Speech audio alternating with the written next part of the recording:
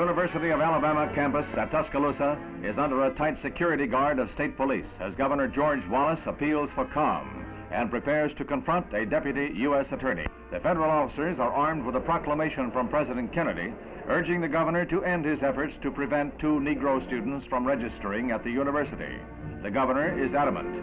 He made a campaign promise to stand in the doorway himself to prevent the integration of the last all-white state university.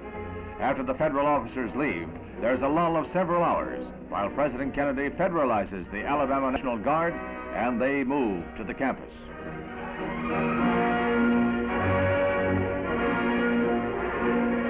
Brigadier General Henry Graham arrives to tell the governor, it's my sad duty to ask you to step aside on orders of the President of the United States.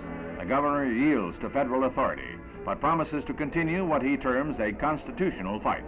There was no untoward incident at any time during this confrontation of state and federal authority.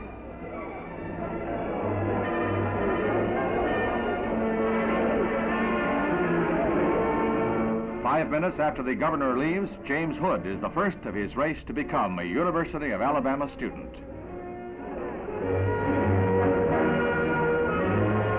He is followed into the registrar's office by Vivian Malone. Both the students are 20 years old and will take summer courses. From the White House that evening, President Kennedy makes an appeal to the nation. He says that the U.S. is facing a moral crisis and that it is the duty of all to uphold the law. Fires of frustration and discord are burning in every city, north and south.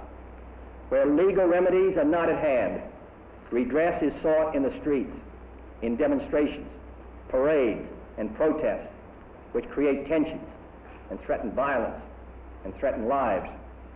We face, therefore, a moral crisis as a country and a people. We have a right to expect that the Negro community will be responsible, will uphold the law, but they have a right to expect that the law will be fair, that the Constitution will be colorblind, as Justice Harlan said at the turn of the century. This is what we're talking about, and this is a matter which concerns this country and what it stands for. And in meeting it, I ask the support of all of our citizens. Thank you very much.